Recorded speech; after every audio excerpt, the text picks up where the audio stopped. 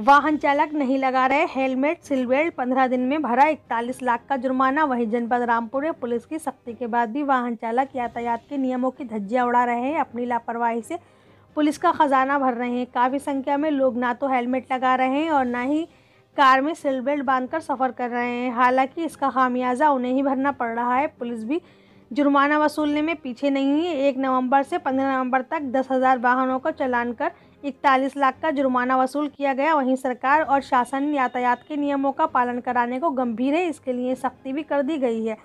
कुछ माह पहले चलान जुर्माने की राशि को दुगना कर दिया गया था। पुलिस इसका सख्ती से पालन करा रही है। शहर और ज़िले भर में लगातार वाहनों की चेकिंग की जा रही है। इससे जहाँ पुलिस को जुर्माना राशि वसूल करने में, खजाना भरने में भी मदद मिल रही है, वहीं आपराधिक प्रविष्टि के लोगों पर भी नकेल कसी जा रही है। वाहनों में बदमाशों का मूवमेंट नहीं हो पा रहा है, लेकिन पुलिस की सख्ती के बाद भी लोग सुधरने को तैयार नहीं हैं। काफ़ी संख्या में लोग दोपहिया वाहनों पर हेलमेट नहीं लगा रहे हैं। कहीं तीन सवारी बिठाई जा रही है तो कहीं वाहन चालक अन्य नियमों को तोड़ने में लगे हैं। यहाँ तक कि कार सवार भी कम ही सीट बेल्ट बांधकर सफ़र कर रहे हैं। वाहन चालकों की यही लापरवाही पुलिस विभाग का खजाना भरने का सबब बन रही है। पुलिस विभाग के आंकड़े बताते हैं कि नवंबर माह को यातायात माह के रूप में मनाया जा रहा है, जिसमें ज़िले भर में सघन वाहन चेकिंग की जा रही है। एक नवंबर से पंद्रह नवंबर तक दस हज़ार वाहनों का चलान कर दिया गया है, जिनमें मामूली रकम नहीं, बल्कि इकतालीस लाख रुपए का जुर्माना वसूला गया।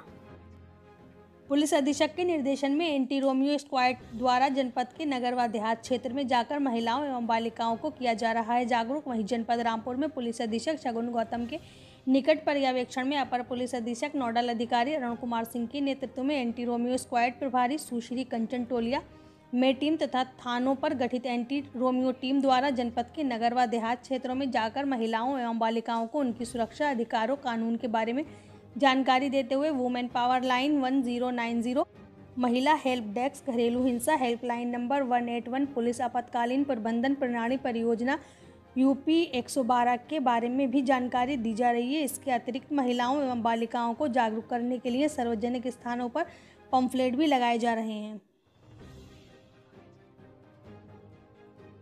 एमएलसी चुनाव को लेकर तैयारियाँ तेज, वहीं जनपद रामपुर में एक दिसंबर को होने वाले विधान परिषद की बरेली मुरादाबाद स्नातक निर्वाचन क्षेत्र के चुनाव के लिए प्रशासन ने तैयारियाँ तेज कर दी हैं।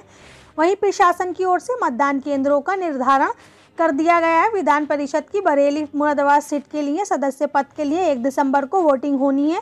इसके लिए एक सीट पर पंद्रह प्रत्याशी चुनाव मैदान में है। प्रत्याशियों के नामांकन की प्रक्रिया पूरी हो जाने के बाद चुनाव प्रचार शुरू कर दिया गया है। वहीं दूसरी ओर प्रशासन ने भी अपने स्तर से तैयारियाँ शुरू कर दी है। एक दिसंबर को होने वाले मतदान के लिए प्रशासन की ओर से मतदान स्थलों का निर्धारण कर दिया गया है। रामपुर में राजकीय हामिद इंटर कॉलेज नगर पालिका परिषद समेत पाँच मतदान केंद्रों पर वोटिंग होगी। रामपुर के जिला निर्वाचन अधिकारी अनंजनी कुमार सिंह ने मतदान को शांतिपूर्वक ढंग से संपन्न कराने के लिए अफसरों को निर्देश जारी कर दिया है। डीएम ने चुनाव को निष्पक्ष ढंग से संपन्न कराने के लिए एसडीएम व तहसीलदारों को ज़िम्मेदारी सौंपी है।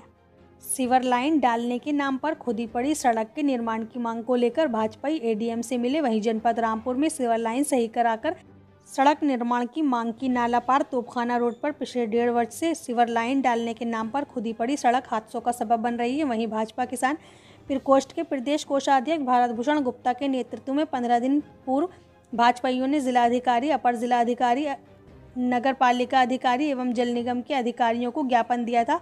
वहीं फिर से उन्होंने अपर जिलाधिकारी जेपी गुप्ता एवं अधिशासी अधिकारी नगर पालिका एवं जल निगम के अधिकारियों से मुलाकात के। अवसरों को अपने साथ ले जाकर मौके का मुआयना कराया। वहीं खुदी हुई सड़क पर जलभराव के कारण क्षतिग्रस्त मकान एवं क्षतिग्रस्त हुई गलियों को दिखाने के बाद अतिशीघ्र सिविल लाइन्स बनवाकर सड़क का निर्माण कराने की मांग की। मौके पर मौजूद अपर जिलाधिकारी जेपी गुप्ता ने जल निगम और अधिशासी अधिकारी नगर पालिका को 20 दिन के अंदर सीवर लाइन और सड़क बनाने के निर्देश दिए। अपर जिलाधिकारी ने सफ़ाई व्यवस्था दुरुस्त न होने पर नाराज़गी जताई। सड़क बनने का आश्वासन मिलने के बाद लोगों ने संतोष व्यक्त किया।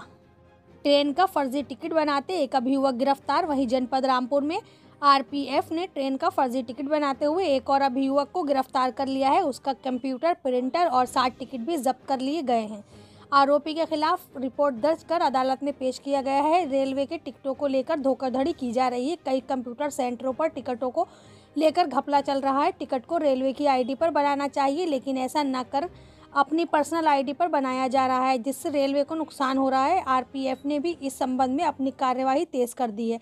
ऐसे कंप्यूटर सेंटरों का पता लगाकर छापामार कार्यवाही की जा रही है। शहर के मोहल्ला जैन इंटर कॉलेज के पास खारीकुआ में कंप्यूटर सेंटर पर भी एक ऐसा ही काम किया जा रहा था। जानकारी मिलने पर सीआरपीएफ राकेश कुमार सिंह ने दल बदल के साथ छापा मारा, जहाँ से रेलवे के साथ टिकट बरामद किए गए, जो सभी पर्सनल आईडी पर बनाए गए थे। इसके अलावा कंप्यूटर प्रिंटर आदि सामान को भी जब्त कर लिया गया है। आरपीएफ ने आरोपी आशुतोष शुक्ला, पुत्र रविशंकर शुक्ला को गिरफ़्तार कर लिया है। उसके खिलाफ रिपोर्ट दर्ज कर ली गई है। उससे मुरादाबाद में रेलवे की अदालत में पेश किया गया है।